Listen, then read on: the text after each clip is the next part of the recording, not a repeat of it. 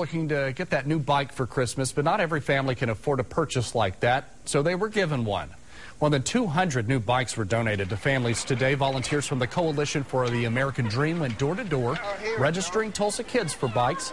Of course, safety comes first. The kids also got a certificate for a free helmet. Thank you. I don't know who donated this program, but it's a really nice program, so thanks to this program.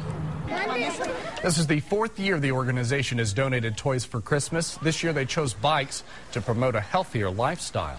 Oklahoma's